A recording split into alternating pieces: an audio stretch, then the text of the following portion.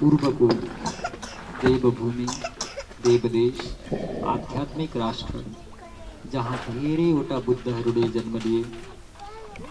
बुद्ध पुरुषहरूको अभ्युदय भयो। देव मानव ऋषि आत्माहरूको जन्म भयो। त्यो देवभूमिमा हामीहरू हजुरहरू एकत्रित भएका छौँ। निश्चित समयको हामीलाई यो लोकमा रहने आज्ञा प्राप्त छ। हामीलाई जन्म जन्मदेखि एउटै कुराको खोजी छ त्यो हो बुद्धत्व। सम्बोधि त्यही परम तत्त्वको खोजी गर्दै जन्म जन्मदेखि भट्किँदै जाँदा बाटो बनिसकेको ठाउँमा हिँड्न सजिलो हुन्छ। त्यही भएर सम्प्रदायको निर्माण भएको छ। नयाँ बाटो हिँड्न गाह्रो पर्छ बाटो बनाउन दुःख पर्छ अप्ठ्यारो हुन्छ। हिँड्नै सकेन भने पनि बाटोमा लड्यो भने पनि पछाडि हिँड्नेले उसलाई समातेर गन्तव्यमा पुर्याइदिन्छ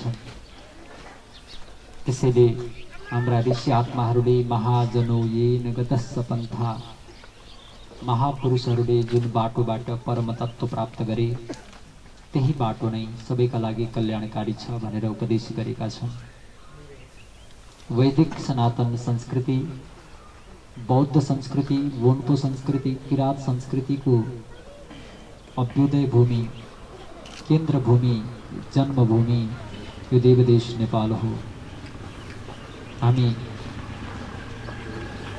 मानव मानव मात्र होइन मानवले मानव इतर पशु पक्षी वृक्ष वनस्पतिलाई पनि उनीहरूको जीवन रक्षाका लागि प्रयत्न गर्दछौँ हाम्रो जीवन संसारका सबै प्राणीहरूको कल्याणको कामनामा व्यतीत हुन्छ वेदका मन्त्रहरूमा हामीले बारम्बार प्रार्थना गरेका हुन्छौँ मित्रस्य मा चक्षुखा सर्वाणि भूतानि समीक्षन्ताम् मित्रस्याहं चक्षुखा समीक्षा समीक्षे।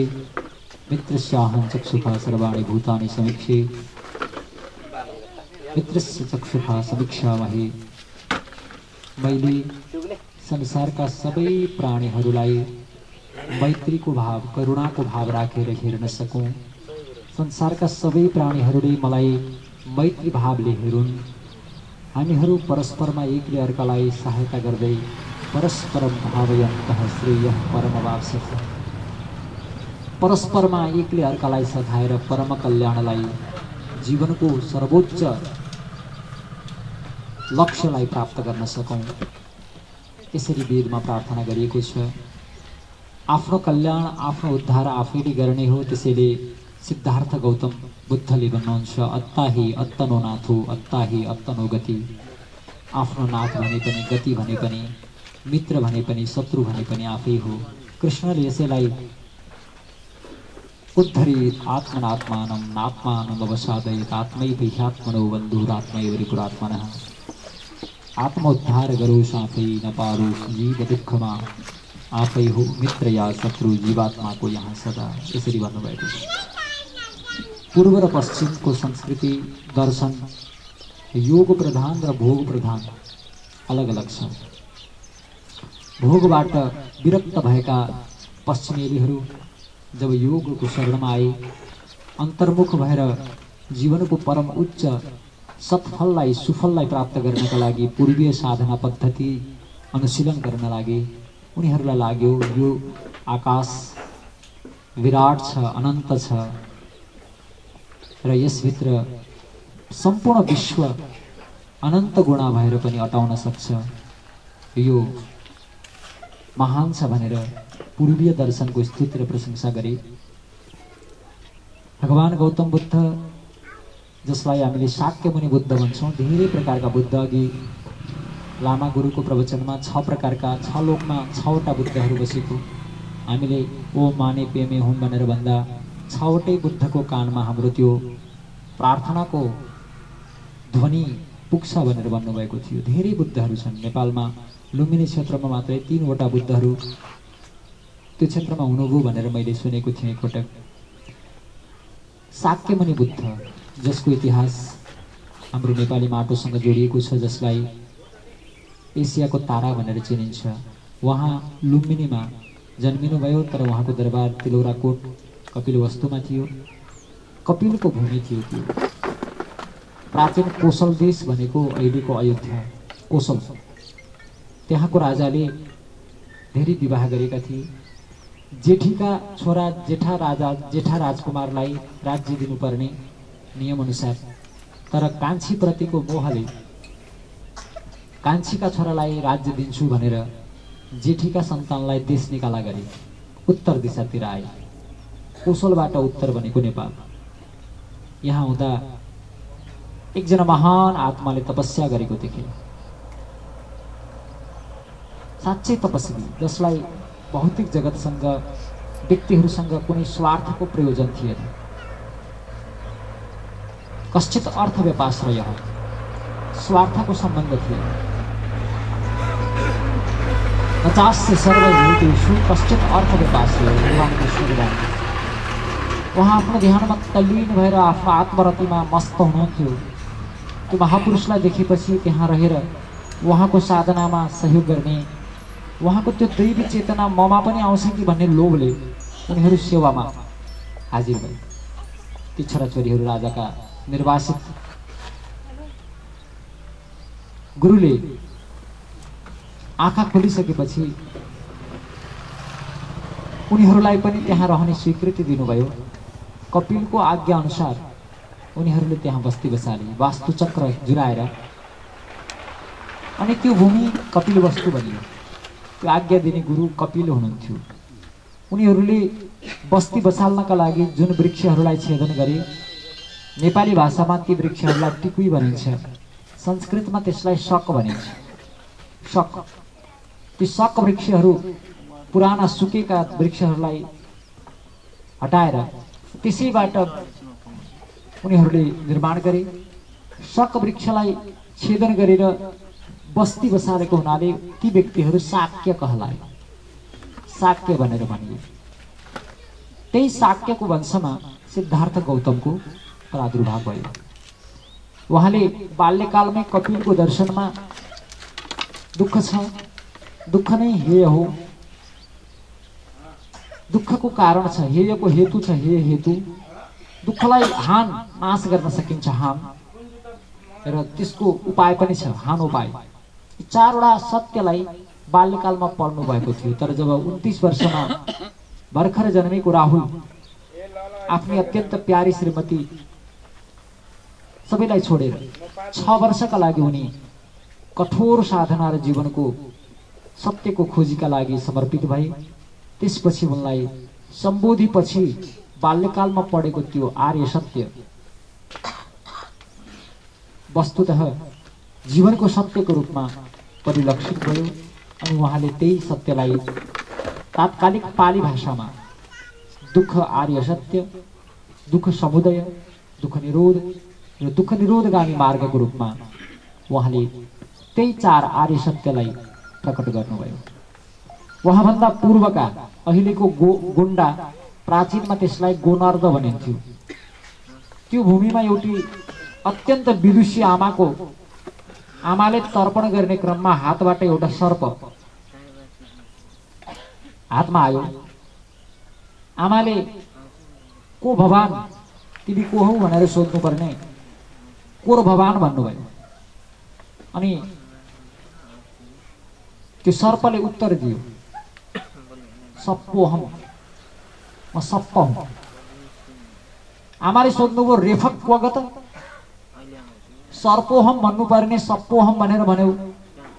रेफ रकार खै भनेर आमाले सोधिन्। अनि बालकले त्यो सर्पको रूपबाट आवाज आयो तोया पकृत हजुरले अपहरण गर्नुभयो।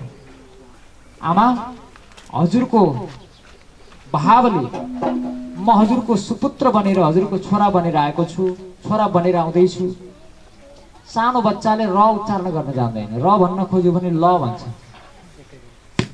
सर्प भन्दैन सप्प भन्छ राम्रो भन्दैन लाम्लो भन्छ त्यसपछि ती पतञ्जली हातबाट अञ्जलीबाट तर्पणको जल खस्दै गर्दाखेरि जो सर्पको सानो बालक हातमा आएका थिए तिनै पतत अञ्जली पतञ्जली तिनै शेषका अवतार पाणिनीको अष्टाध्यायलाई महाभाष्य लेख्ने पतञ्जलीको रूपमा र योगलाई नयाँ दिशा दिने योग सूत्रकारको रूपमा पनि जगतमा उनले योगका आठवटा अङ्गहरू यम नियम आसन प्राणायाम प्रत्याहार धारणा ध्यान समाधि आठ अङ्गको उपदेश गरे। प्रारम्भको यमलाई उनले अहिंसा सत्यास्तेय ब्रह्मचर्य परिग्रह यमाहा। अहिंसा कसैलाई दुःख नदिनु। सत्य आफ्नो अन्तरात्माले सही निर्णय गरेको कुरालाई जस्ताको तस्तै फरक फेरबदल नगरिकन जस्ताको तस्तै प्रस्तुत गर्नु। अस्तेय संसारका प्रत्येक वस्तु त्यो दैवी शक्तिको हो दैवी चेतनाको हो ईश्वरको हो मेरो होइन भनेर प्रत्येक वस्तु भगवान्को भन्ने सम्झनु। मेरो भन्नु नै चोरी गर्नु ईश्वरीय वस्तुलाई ईश्वरको वस्तुलाई मेरो भन्नु के हो? चोरी गर्नु अस्तेय भनेको स्तेय भनेको चोरी अस्तेय भनेको चोरी नगर्नु। चोरी नगर्नुको भाव चाहिँ हो। ब्रह्मचर्य परिग्रह। ब्रह्मचर्य प्रतिष्ठायाम वीर्य लाभ। वीर्य भनेको पराक्रम हो। ब्रह्मचर्यबाट पराक्रमको लाभ हुन्छ। कुनै महान साधना उचाइ गति दर्शन कुनै आइन्स्टाइनले लामो समय ब्रह्मचर्य पालना गरे त्यो दिन उनको ब्रह्मचर्यले एउटा गतिलाई स्पर्श गर्दा उनले इजकल टु एमसी स्क्वायर प्रमाणित गरेका थिए। त्यो बोध उनलाई अन्तर्बोध र त्यो प्रमाणित गर्ने क्षमता उनलाई प्राप्त भएको थियो। ब्रह्मचर्य भनेको उदार दृष्टि पनि हो। ब्रह्म भनेको ईश्वर। उसको जस्तै उदारता उसको जस्तै व्यापक चिन्तन। उसले कसैलाई पक्षपात गर्दैन राम्रो गर्नेलाई र नराम्रो गर्नेलाई पनि उसले समान भावले हेर्छ हामी पनि शत्रु र मित्रप्रति समान हुन सके। हामी सच्चा ब्रह्मचारी बन्न सक्छौँ। ब्रह्मचारीको भाव पनि धेरै गहिरो छ। अनि अपरिग्रह। परिग्रहको अर्थ हुन्छ सङ्ग्रह परि उपसर्ग र सम उपसर्ग लगाउँदा ग्रह शब्दमा सङ्ग्रह अर्थ हुन्छ।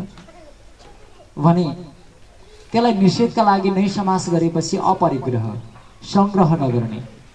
सङ्ग्रह नगर्ने भनेपछि आज लगाएको कपडा छोडेर भोलि लगाउने कपडा पनि नराख्ने। आज लिएको भोजन छोडेर भोलिको भोजनको पनि बन्दोबस्त नगर्ने। हाम्रा आश्रयमा रहेकाहरूलाई पनि ख्याल नगर्ने त्यो होइन। आफ्ना लागि सङ्ग्रह नगर्ने। आफ्नो स्वार्थका लागि मात्र सङ्ग्रह नगर्ने।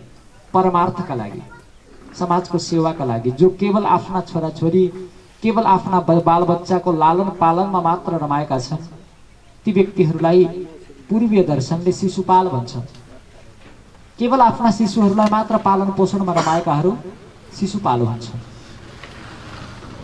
पारिवारिक परिवारको धर्मबाट त्यो घेराबाट बाहिर आउने बित्तिकै समाज राष्ट्र र विश्वको चिन्तन आफ्नो आत्मा ती सबैलाई आफूभित्र समाहित गर्ने क्षमता प्राप्त भएपछि बल्ल व्यक्ति समाज राष्ट्र र विश्व धर्मलाई अपनाउँदा त्यो व्यक्ति बल्ल अपरिग्रही बन्छ। अपरिग्रहको फल पनि पतञ्जलीले बडा गहन व्याख्या गर्छन्। अपरिग्रह स्थैर्य जन्म कथान्त सम्बोधा जब व्यक्तिले करुणाले संसारलाई आफ्नो आत्माभित्र समाहित गरेर सबैलाई दुःख पुग्दा आफूलाई दुःख पुगेको अरूलाई सुख दिँदा आफूलाई सुख मिलेको सम्झेर अरूलाई खुवाउँदा आफू तृप्त भएको अनुभूति गर्न सक्छ त्यो व्यक्तिले जन्म जन्मका घटनाहरूलाई प्रत्यक्ष उसले स्मरण गर्न सक्छ। जन्म कथान्त सम्बोधा अनि तिनै पतञ्जलीको पञ्चशील जो यमका पाँचवटा अङ्गहरू जो आज भगवान् चाक्यमणि गौतम बुद्धले पञ्चशीलको रूपमा लिएर त्यसलाई व्याख्या गर्नुभयो। शील समाधि र प्रज्ञाको माध्यमबाट महापरिनिर्वाणको प्राप्ति। ओम र होम गर ओम जप्ने र होम गर।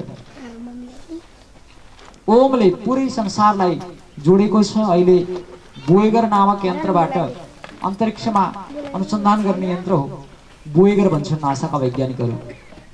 त्यसबाट अनुसन्धान गर्दा सूर्यको सतहबाट निस्कने ध्वनिलाई लामो समय रिसर्च गर्दा त्यहाँबाट निस्केको ध्वनि ओम यो पूर्वीय दर्शनमा बौद्धहरूले हिन्दूहरूले किराँतहरूले सिख जैनहरूले जो मन्त्र ओम भन्ने गर्दछन् यो ठ्याक्कै त्यही शब्द हो भनेर नासाका वैज्ञानिकहरूले प्रमाणित गरेका छन्। त्यसैले हामी त्यस्तो गौरवशाली माटोमा छौँ। हामी जीवनको सत्य खोजिरहेका छौँ। दुईटा कुराको चाहना छ सबैमा। पूर्ण परमानन्दको प्राप्तिको चाहना र दुःखको आत्यन्तिक निवृत्तिको चाहना। हाम्रा सकल प्रवृत्तिहरू सबै प्रकारका यत्नहरू चेष्टाहरू यिनी दुईटा कुराका लागि हुन्छ। सुख प्राप्ति दुःख अन्त्यको लागि। सुख मिलोस् दुःख मेटियोस्। यति दुईटा कुराका लागि हुन्छ। यति दुईटा कुरामा जो बाधक बन्छ त्यो नजिकको भएर पनि टाढा हुन्छ। यति दुईटा कुरामा जो सहयोगी बन्छ त्यो टाढाको भएर पनि आफ्नो हुन्छ। यही जीवनको शाश्वत सत्य हो। र यसै कुरालाई बुझ्नु नसक्दा हामीले आफ्नालाई पराई र पराईलाई आफ्ना पनि बनाउँछौँ। त्यसैले हामीले अघि आएको थियो यहाँ जन्म मृत्यु जरा व्याधि मनुष्य लोकमा के दुःख छ? पशु लोकमा त यस्ता दुःख छन् गन्धर्व लोकमा यो दुःख छ देवलोकमा पनि भिजा जस्तै निश्चित अवधि खर्चबाट खर्च भए जति होटलमा लजहरूमा मान्छे खुल्तीमा पैसा भएसम्म मात्रै हो। मानव जीवनमा के के दुःख छन् त? यसलाई गीताले जन्म मृत्यु जरा व्याधि दुःख दोषानुदर्शन। जन्म मृत्यु जरा जरा भनेको वृद्धावस्था व्याधि भनेको रोग। यी चारवटा दुःखहरू मानव जीवनसँग जोडिएका छन्। The cycle of birth and death जन्म र मृत्युको चक्रभित्र हामी फँसेका छौँ। हामीलाई थाहा छैन हाम्रो जीवनको अन्तिम कतिखेर हुन्छ। यही जीवन हामीले लिइरहेको श्वास कतिखेर अन्तिम पटक छोड्छौँ थाहा छैन। तर हामी धेरै लामा लामा योजना धेरै ठुला ठुला सङ्कल्प धेरै ठुला ठुला विचार गर्छौँ। यही हो हाम्रो जन्म र मृत्युको कारण। बजार जाँदा सबै इच्छा पुरा भयो भने सबै चाहिएको कुरा किनियो भने फेरि मान्छे बजार जाँदैन कि? केही कुरा किन्ने केही पैसा नपुगेर इच्छा बाँकी रह्यो भने मान्छे घर गएर पैसा लिएर फेरि फर्केर आउँछ।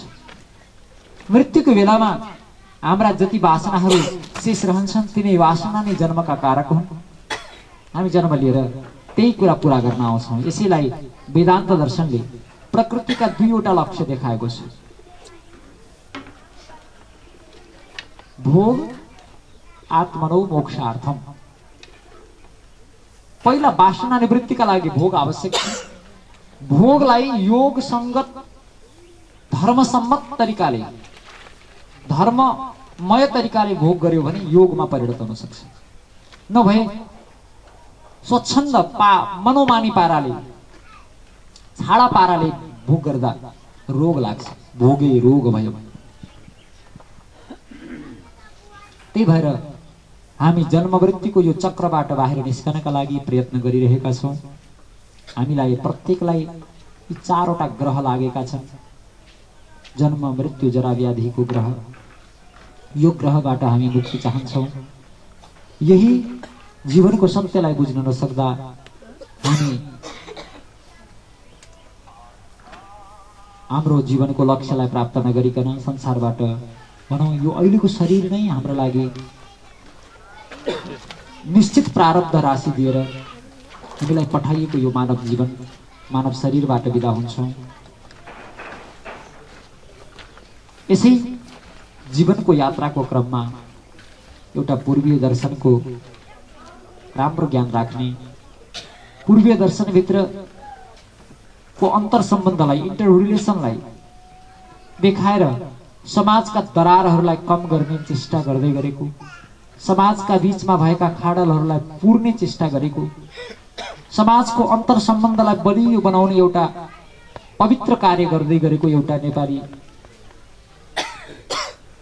एउटा व्यक्तित्व मोहन लामा जसको पुत्र बनेर कुनै आत्मा यसै भूमिमा जन्मियो उसले बहुत कम समय धरतीमा रहेर आफ्नो त्योभन्दा अगाडिको यात्रामा प्रस्थान गर्यो आज बयालिस दिन।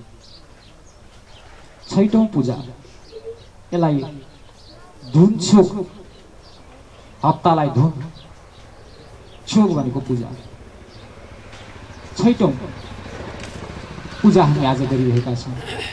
हाम्रा अगाडि बौद्ध संस्कृतिका विशिष्ट गुरुहरू अगाडि विद्यमान हुनुहुन्छ। यो भेष पनि एउटा आदरणीय भेष हो। यो भेषलाई देख्दा पनि सम्मानको भावना जागृत हुन्छ। तर हामीले अपनाएको संस्कृति हामीले गर्दै आएको परम्परा आफैमा अत्यन्त विलक्षण छ अत्यन्त उदाहरणीय छ त्यही भएर पश्चिमाहरू अमेरिकाकी नेपालका लागि राजदूत एलिना तेप्लाइ तेप्लिजले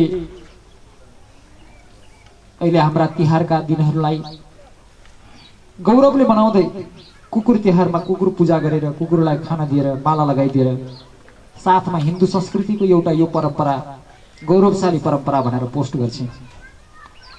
अहिले अमेरिकाको राष्ट्रपति बाराक हुसेन ओबामाले व्हाइट हाउसमै दीपावली मनाउ मनाए। त्यही भित्रै हाम्रो संस्कृतिलाई गौरवले उनले अप्नाए। यो दीपको पर्व यो उज्यालोको पर्व। फेस्टिभल अफ लाइट संसारभरि फैलिएको छ।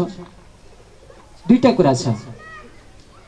राजाले यदि कसैलाई दण्ड दियो राजा भनौँ राष्ट्रपति भनौँ रा सरकार भनौँ प्रशासनले कसैलाई दण्ड दियो भने त्यो दण्ड आफै भोग्नुपर्छ तर पुरस्कार दियो भने बाँड्न सक्छ होइन? मलाई केही चिज कसैले उपहार दियो भने त्यो म कसैलाई दिन सक्छु तर मलाई कसैले दण्ड दियो भने त्यो मैले बाँड्न सक्दिनँ। यो प्रकृतिको नियम पनि हो। जीवनका दुःखहरू आफै भोग्नुपर्छ। तर जीवनमा प्राप्त भएका सुखद कुराहरू हामीले बाँड्न सक्छौँ। यो जीवनको सत्य हो। तर केही महापुरुषहरू यस्ता हुन्छन् समर्थ व्यक्तिहरू जसले अर्काको दुःखलाई पनि लिख्न सक्छन् यहाँहरूलाई उदाहरण दिँदा स्वामी विवेकानन्दका गुरु रामकृष्ण परमहंस अन्तमा उहाँलाई घाँटीको क्यान्सर थियो। थाहा छ हजुरहरूलाई त्यो क्यान्सर कसरी भयो? ईश्वर प्राप्तिको साधना गर्दै गरेका पवित्र आत्माहरू जो साधनामा तल्लीन भएर लागेका थिए केही त्यस्ता साधकहरूको जीवनको अगाडि आउने अवरोधलाई अगाडि आउने रोगलाई उहाँले आफूले लिनुभयो यो समर्थ व्यक्तिहरूको अपवाद हो।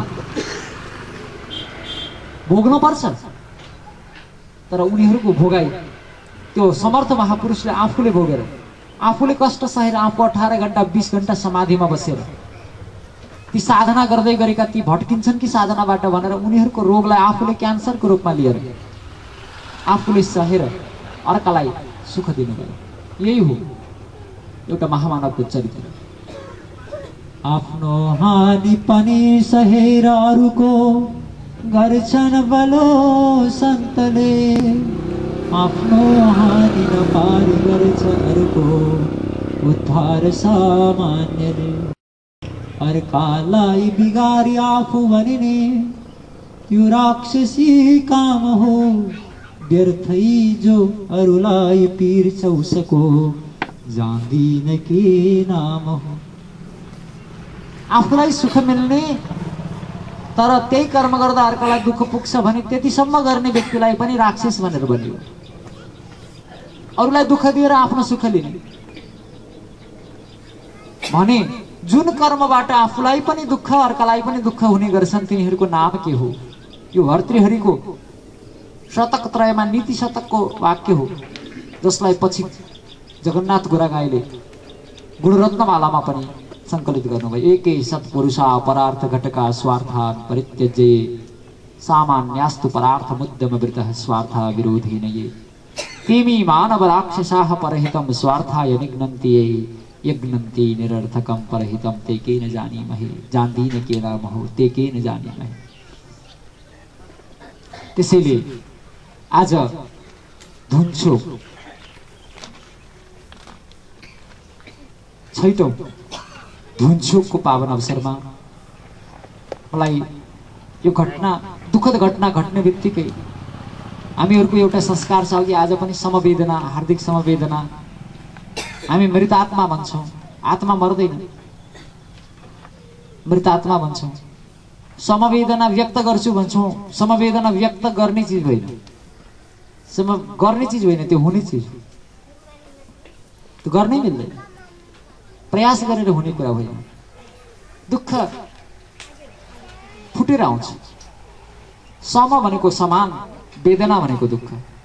परिवारको पिताले माताले दाईले भाइले आमाले गरेको अनुभव उहाँलाई भएको पीडाको दुःखलाई उत्तिकै महसुस गर्ने विधालाई समवेदना भनिन्छ।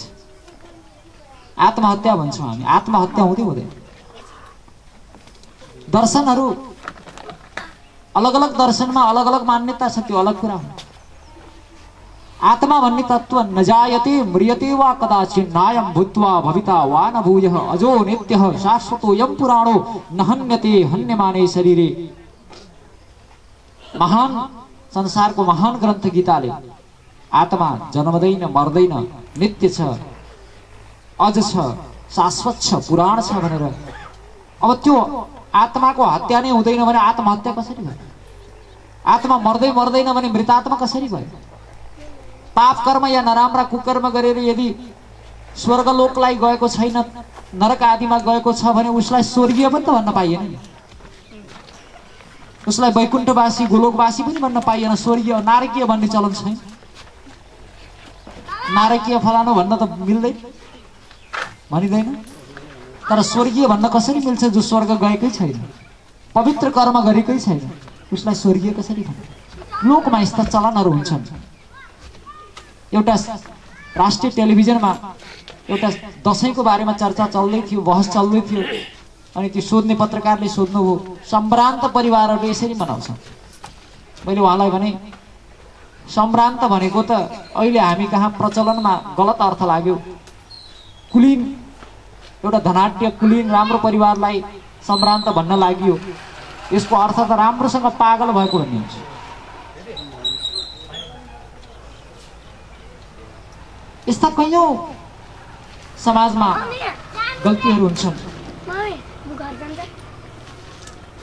सही विधि सही ज्ञान सही परम्परा सही गुरु सही बाटो सही मार्ग सही शाश्वत पन्थलाई हामीले बुझ्न नसक्दा यस्ता धेरै जीवनमा अप्ठ्याराहरू आउँछन् हामीले परम सत्यलाई चिन्न सकौँ हाम्रो जीवनको खोजी पुरा होस् हामीले अरू हजारौँ बुद्धहरूलाई सिद्धार्थहरूलाई बुद्ध बनाउने एकजना धरानमा एउटा कार्यक्रममा गएको थिएँ।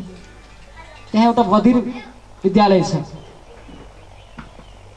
दृष्टिविहीन बधिर भनेपछि दृष्टिविहीन विद्यालय छ प्रज्ञाचक्षु जहाँ आँखाले नदेख्नेहरूको पनि एउटा सुन्दर विद्यालय छ म त्यहाँ पुगेँ एकजना भाइले कविता सुनाए।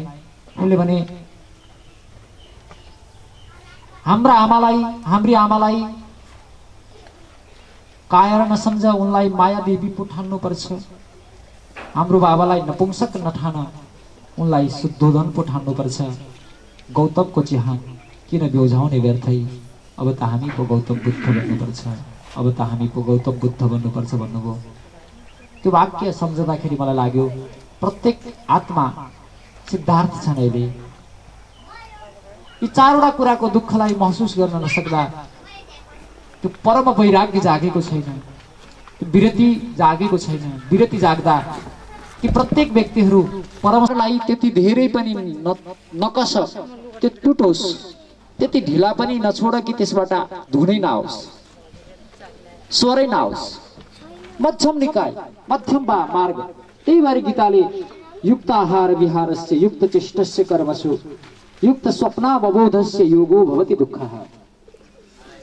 सही समयमा उठ्ने सही समयमा सुत्ने सही समयमा भोजन गर्ने सही समयमा साधना गर्ने नियमित निरन्तर लगातार सही पद्धति र विधिबाट निरन्तर नैरन्तर्य सेवनबाट त्यो स्थिति प्राप्त हुन्छ भनेर हामीलाई बताएको छ। त्यसैले हाम्रो यो बसाइ आज छैटौँ हप्ताको पूजामा एउटा संयोग मात्र होइन एउटा ईश्वरीय प्रेरणाले हजुर हामीहरू एक ठाउँमा जम्मा भएका छौँ। हामीले पाल्टिन बाबु जस्तै म पनि कुनै दिन कुनै अवस्थामा थाहा छैन कसरी मैले पनि संसारबाट बिदा लिनु छ तर जानुभन्दा पहिला मैले यी चारवटा प्रश्नको उत्तर प्राप्त गर्नु छ। यो जीवनको शाश्वत लक्ष्यलाई मैले प्राप्त नगरिकन जानु हुँदैन भनेर हामी निरन्तर सत्यको खोजमा सत्यको साधनामा समर्पित हुनुपर्छ। दुईटा कुरा भुल्नु हुँदैन भनेर बताएका छन् सन्तहरूले। दो भूल जो चाहे कल्याण। एक नारायण मौत को दुजो श्री भगवान। या त ईश्वरलाई स्मरण गर्ने या त मृत्युलाई स्मरण गर्ने। यो दुईटा कुरालाई मध्ये एउटा कुरालाई पनि सम्झने मान्छेले कहिल्यै कसैलाई नराम्रो गर्दैन। तर यी दुईटा कुरामै बिर्सियो भने मान्छे दुर्गतिमा जान सक्छ। जति दुर्गतिमा गएका छन् यी दुईटा कुरा बिर्सेर हो मान्छे दुई पटक पाल्के यजुर्वेदमा यी अलग अलग अङ्गहरूको अग्निमा हवन गर्ने मन्त्रहरू छन्। त्यो पनि यज्ञ हो। त्यसैले एक पटक डोली चढ्दा अर्को पटक डोली चढ्न बाँकी छ भन्ने कुरा बिर्सिएन मान्छेले भने हरेक कर्म गर्दा यो देख्नेवाला ईश्वर छ म पनि मर्नुपर्छ भन्ने कुरा बिर्सेन मान्छेले भने कहिल्यै नराम्रो गर्दैन कसैको कुभलो गर्दैन। जसले अर्काको नराम्रो गर्दैन उसलाई कहिल्यै नराम्रो हुँदैन। यही जीवनको सत्य हो। त्यसैले हाम्रो जीवन मङ्गलमय होस्। आजको यस छैटौँ पूजामा आदरणीय पवित्र धमला माताजी र हाम्रो मोहन दाजुको सामाजिक सञ्जाल फेसबुकमा साथी भएका जीवन कुमार ढुङ्गेल र पारो पाण्डे तिवारी उहाँहरूले आजको यो पूजाको लागि व्यवस्थापनका लागि सौजन्य गर्नुभएको छ। उहाँहरूलाई पवित्र कार्यमा पवित्र कार्य गर्नुभएकोमा साधुवाद। धेरै धेरै धन्यवाद। र त्यो कलिलो शरीरमै विद्युतको प्रभावबाट शरीरबाट अलग भएका र अनन्तको यात्रामा अगाडि बढिरहेका पाल्किनलाई उच्चतम गति प्राप्त होस्। हामी सबैको प्रार्थना हामी सबैको तर्फबाट उनको मङ्गलमय गति र सुखद यात्राका लागि हाम्रो प्रार्थना। हजुरहरूको बिचमा धेरै पहिलेदेखि आउने चाहना प्रयास हुँदाहुँदै केही जीवनमा त्यस्ता बाधिएका परिस्थितिहरू हुन्छन् बोलिएका कुराहरू हुन्छन् जसले गर्दा मान्छेले आफूले चाहेर गर्न सक्दैन। एकजना देवकी भन्ने साधिकाले शरणानन्द स्वामीजीसँग भएको थियो महाराजजी मैं जो चाहती हूँ, सो होता नहीं। जो होता है, सो मुझे भाता नहीं। और कभी कभी जो होता है, अगर मुझे वह भाता भी है अच्छा लगता भी है, सो टिकता नहीं। मैं क्या करूँ? उनले सोध्यो स्वामीजीले अति छिटो भनिदिनु भयो बेटी। अगर ऐसा है तो तुम इच्छा ही क्यों नहीं छोड़ देती? जब तुम्हारी इच्छा पूरी होती ही नहीं तो फिर इच्छा को पकड़ करके क्यों बैठी हो? छोड़ दो न बस। मान्छे दुई प्रकारले सुखी हुन्छ या इच्छा पुरा भएर या इच्छा छोडेर इच्छा पुरा गर्न सम्भव छैन ध्रुव सत्य कुरा हो राम र कृष्णका पनि इच्छाहरू राम र कृष्णलाई जन्म दिने आमा बाबाका पनि इच्छा पुरा भएन यशोदाले कृष्णलाई मथुरा पठाएको होइन।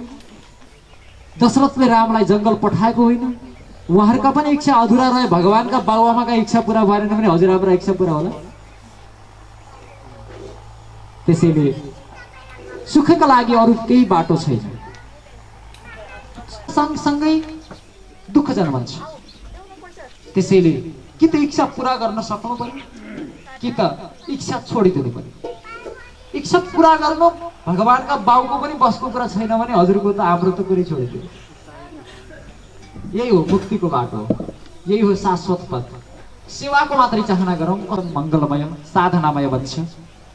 यो देवभूमि देवघाट देवताहरूले आएर नहुने भूमि हो। देवघाट अर्कोतिर देवदह छ बुद्धको मावली भूमि। बुद्धको दर्शन र यो देवघाट व्यासको दर्शनको भूमि हो। बुद्ध र व्यास एक ठाउँमा आए। देवदह र देवघाटको मिलन भए संसारलाई यति कुराले राज गर्न सक्छ। करिब चार अरब व्यक्तिहरू सात अरबमा चार अरब व्यक्तिहरू ओमकार परिवारका छन्। यति एकमुठी भए संसारको कुनै ताकतले हामीलाई छुन सक्दैन। पूर्वीय दर्शन अहिले अमेरिकामा फास्टेस्ट ग्रोइङ रिलिजन भनेकै बौद्ध धर्म र हिन्दू धर्म। त्यसैले यी संसारमा मौलाउँदै जाने संस्कृति हो। संसारलाई सबै प्रकारले दुःखको अन्त्य गरिदिने गौरवशाली परम्पराहरू हुन् विज्ञानको कसौटीमा खरा उत्रिने परम्पराहरू हुन् न्युटनले तिन सय वर्ष पहिला गुरुत्व बलको बारेमा खोज गर्नुभन्दा धेरै वर्ष अगाडि भास्कराचार्यले लीलावतीमा गुरुत्व बलको बारेमा पृथ्वीको बारेमा उनले पहिल्यै ग्रन्थ नै लेखेका छन् महर्षि कणाद र गौतमले तत्राद्यापतना समवाय कारणम गुरुत्व गुरुत्वम पृथ्वी जलमात्र वृत्ति कहाँ कहाँ गुरुत्व बलको प्रभाव पर्छ र कहाँ पर्दैन भनेर अपवादसम्म पनि लेखिदिएका छन् एउटा अपवाद हामीले यहाँ हामीले लेखेको दीपकमा पनि बुझ्न सक्छौँ दीपकमा गुरुत्व बलको प्रभाव पर्ने हो भने। भोजन बनाउँदा पात्र तलतिर राख्नु पर्ने आगो मासतिर बाल्नु पर्ने। किनभने गुरुत्व बलले आगोलाई तलतिर तान्नु पर्ने। तर पात्र हामीले कता राख्छौँ? माथि राख्छौँ। किन माथि राख्छौँ? आगोको गति तलतिर छैन कता छ? माथितिर छ। एउटा कुरा याद राख्नुहोस्। ज्ञान र प्रकाश ज्ञान र अग्नि जहिले पनि माथितिर बढ्छ कता? माथितिर। गुरुत्व बलको विपरीत छ नि दुइटै कुराहरू गुरुत्व बलको नियम यहाँ लागू हुँदैन अपवाद हुने दुवै कुराहरू त्यसैले हाम्रो पूर्वीय दर्शनभित्र संसारका सबै प्रश्नहरूको समाधान छ उत्तर छ। म यो भौतिक शरीर जुन ठाउँमा प्राप्त गरेँ प्राप्त भएपछि यही शरीरसँग जोडिएर हजुरहरूको सान्निध्य लगायत धेरै ठाउँहरूमा घुम्ने गर्छु। यो स्याङ्जा जिल्लामा जन्मेको शरीर हो। त्यो गण्डकी उत्तर फर्केको ठाउँ छ गण्डकी उत्तर फर्किनुको साधारण संयोग हुँदैन त्यो। त्यो विलक्षण कुरा हुन्छ। शरीरमा पनि इलेक्ट्रोम्याग्नेटिक वेव्सहरू विद्युत चुम्बकीय तरङ्गहरूको प्रभाव भइरहन्छ। त्यही भएर त हामीलाई शास्त्रकारले सुत्दाखेरि कि पूर्वतिर सिरानी गरेर सुत कि दक्षिणतिर गरेर सुत उत्तर सिरानी नगर भनेर सुनाउँछ उत्तरतिर उत्तरतिर मुख गरेर फर्किएर जब नदी बक्सिन् त्यो पुण्यको ऊर्जा विद्युत चुम्बकीय तरङ्गको प्रवाह त्यहाँ करोडौँ गुणा बढी हुन्छ। त्यही भएर त्यो ठाउँमा बसेर साधना गर्दा त्यो ठाउँमा बसेर जप गर्दा त्यहाँ गरेको स्नान त्यहाँ गरेको चिन्तन करोडौँ गुणा बढी हुन्छ भनेर हाम्रा शास्त्रहरूले उत्तर फर्किएकी गङ्गा वनारसमा र उत्तर फर्किएकी गण्डकी मालोङका स्याङ्जामा महत्त्व दिएका छन्। सबै जीवनका प्रश्नहरूको उत्तर पाइने ठाउँ। उत्तरायणको महत्त्व छ। त्यही भएर व्रतबन्ध विवाह उत्तरायणमा गरिन्छ पूर्वीय दर्शन आजभोलि दसैँ या विभिन्न यज्ञको पर्वलाई पनि मङ्गलमय मानेर बिचमा पनि गर्ने चलन ल्याए नभए दक्षिणायनमा हुँदैन। भीष्मले दक्षिणायनमा प्राण सरसैयामा सुतेपछि छप्पन्न दिन प्रतीक्षा गरे। उत्तरायणको आगमन होस् अनि बल्ल शरीर छोड्छु। यसैले हाम्रो जीवन उत्तरायणतिर अगाडि बढोस्। जीवनका सबै सकल प्रश्नहरूको समाधान हामीलाई प्राप्त होस्। त्यो सम्बोधि त्यो बोधिसत्व हामी भन्न सकौँ सम्बोधि प्राप्त गर्न सकौँ। हामीहरू एउटा प्रवृत्ति के भने आनन्द लगायतका शिष्यहरू सहित भगवान् बुद्ध हिँड्दै गर्नुभयो दसौँ खाल्टाहरू देखिए। आनन्दले सोधे प्रभु यो दसौँ खाल्टाहरू के हो कसरी बन्यो? भनेर सोद्धा गौतम बुद्धले भन्नुभयो कुनै व्यक्ति थिए जसले पानीका लागि खाल्टा खनेको। अनि दसौँ खाल्टा खन्यो कहीँ पनि पानी देखिँदैन। किन यस्तो भएको? भनेर भन्दा उसले एउटा खाल्टो खन्यो तलतिर अलिक गाह्रो देख्यो अर्को ठाउँ फेरि खाल्टो खन्यो। फेरि गाह्रो देख्यो फेरि ढुङ्गा आयो त्यहाँबाट अर्को ठाउँमा खन्यो दस ठाउँमा खन्यो। अनि पानी आउँदै आएन अनि ऊ छोडेर दुईवटा खाल्टो खन्ने मेहनत एक ठाउँमा गरेको भए त्यही पानी आउँथ्यो। हाम्रो यो प्रवृत्ति हो। सुखका लागि संसार रूपी। अहिले अन्तमा मैले अब बाढी विराम गर्न लागेको छु। महाकवि देवकोटाको लक्ष्मी पूजा पनि हामीले बितायौँ मनायौँ। अन्तिम कविता उन्तिस गते उनको त्यतिखेर शरीर पुरा भयो सायद। छब्बिस गते दुई तिन दिन अगाडि मात्रै उनले नेपाली भाषामा रचना गरेको अन्तिम कविता। उनलाई धेरै कविहरूले आस्तिक नास्तिक अनेक प्रकारको विचार गरेर व्याख्या गर्छन्। उनका कवितामा जताततै ईश्वरको चिन्तन छ। आध्यात्मिक भावना उच्छलित भएको देखिन्छ। उनको अन्तिम नेपाली कविता के हो भने संसार रूपी सुख स्वर्गभित्र रमे रमाएली भित्र चित्र। सारा भयो त्यो मरुभूमि तुल्य रातै परे झै अब बुझ्छु बल्ल। रहेछ संसार निशा समान। आएन जिउँदै रहँदा नि ज्ञान। देवकोटाले जीवनभर आफूले गरेका प्रयासलाई अज्ञानमूलक बानी आए न जिउँदै रहँदा नि आखिर श्री कृष्ण रहेछ एक। न भक्ति भो ज्ञान न भो विवेक।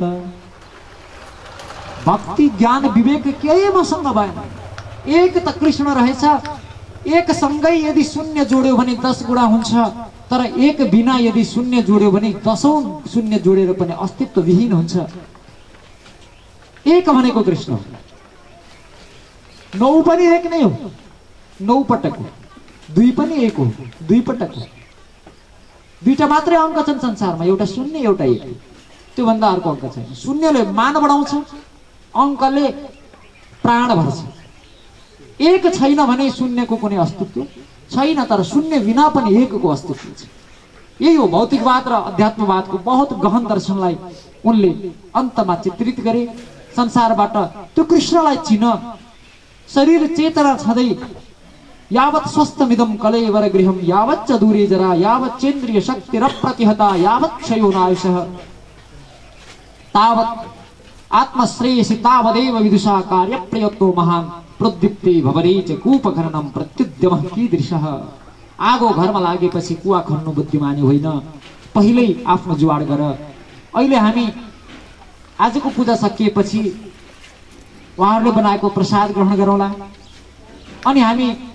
फर्केर घरमा जाउँला।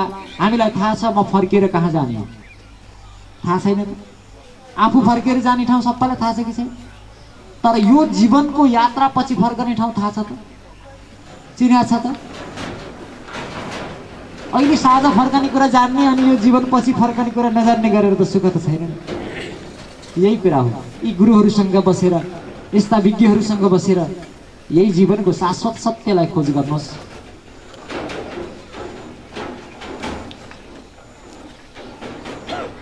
कहाँ थियो वास अघि मको थिएँ? कवि शिरोमणि कसो हुँदा यो पिजडा लिदो भए? कहाँ छ जानु कुनै साथ लिकन तलाई मालुम छ कि यो कुरा मन? मनलाई बार बार सोध्नुपर्ने प्रश्न यो हो। पाल्थिन हामी हो। कुनै पनि बेला यो शरीर छोडेर हामी जानुपर्छ। दो दिन की जिंदगानी एक रोज सबको जाना। बरसों की तू क्यों सोचे? पल का नहीं ठिकाना। पलको ठेगाना नभएको बेलामा वर्षौँको योजना।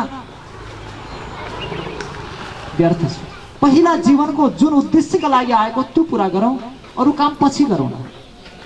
चैतन्य महाप्रभुका दुईटा शिष्य रूप सनातन। पहिला मन्त्री थिए अर्कै मुसलमान शासकका महाप्रभुको ज्ञान भक्तिको धारालाई देखेर उता लागौँ कि यहीँ बसेर भक्ति गरौँ कि गृहस्थमा बसौँ कि सन्यासी हौँ कि भन्ने मनमा चाहिँ द्वन्द्व चलिरहेको छ एक दिन बाटोमा हिँड्दा पछाडिबाट एउटा गाडा आएछ। बिच बाटोमा हिँड्दाखेरि त्यो गाडावालाले भन्छ कि यता लाग्यो कि उता लाग्यो? तत्काल उनको मनमा प्रश्न जाग्यो यसले मलाई अहिले यो बाटो मात्रै यता र उता भने होइन। यो द्वन्द्वमा नबस सन्देहमा नबस तुरुन्त एकतिर लागिहाल्यो। अनि उनीहरूले तत्काल सब छोडेर अनि उनीहरू भक्त बने हामी पनि बिच बाटोमा छौँ भने किनार लागिहालौँ। हाम्रो गति तीव्रतम गतिमा जीवन अगाडि बढोस्। सबैको जीवनमा त्यो बोध योग त्यो दिव्य चेतनाको आलोक आलोकित होस्। पाल्टेनको यी सबै हामी पाल्टेन हो पाल्टेन हो। सबैको चेतनामा त्यो दिव्य दिव्यताको घाम झुल्कियोस्।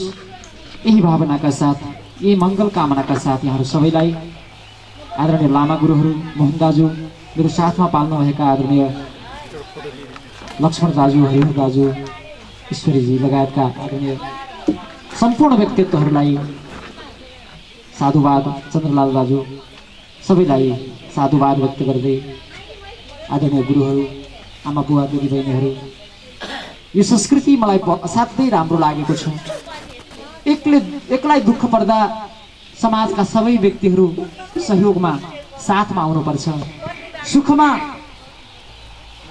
साथ नआउनुहोस् केही फरक पर्दैन अङ्ग्रेजीमा एउटा भनाइ छ a friend in need a friend in deed is a friend in need वास्तविक निडमा आवश्यकतामा दुःखमा अप्ठ्यारोमा साथ दिने व्यक्ति नै आफ्नो मान्छे हुन्छ। सुखमा नजानुहोस् केही फरक पर्दैन जन्ती नजानुहोस् केही फरक पर्दैन तर मलामी अवश्य जानुहोस् दुःखमा अवश्य साथ दिनुहोस् एक शब्द भए पनि म छु है हजुरलाई अप्ठ्यारो। के पर्छ मलाई भन्नुहोस् है भनेर भन्नु पनि यति पनि ठुलो कुरा हुन्छ। त्यसैले हामी बिचमा कसैलाई हाम्रो समाजमा हाम्रो पृथ्वीमा कुनै प्राणीलाई कुनै प्रकारको कष्ट नहोस् सबै अरूले मिलेर उसको दुःखलाई सजिलोसँग उसलाई दुःखकोबाट मुक्ति दिने। हामी सबै मिलेर परस्परम भावयन्त एकले अर्कालाई सघाएर दिव्य अवस्थामा प्राप्त हुने। त्यो हामीलाई दिव्य आलोक प्राप्त होस्। यही मङ्गल कामनाका साथ। पुनः पाल्तिनको मङ्गलमय यात्रा र उच्चतम गतिको कामनाका साथ वाणीलाई विराम असतोमा सद्गमय। तमसोमा ज्योतिर्गमय। मृत्युर्मा अमृतम गमय ओम शांति ही शांति ही शांति।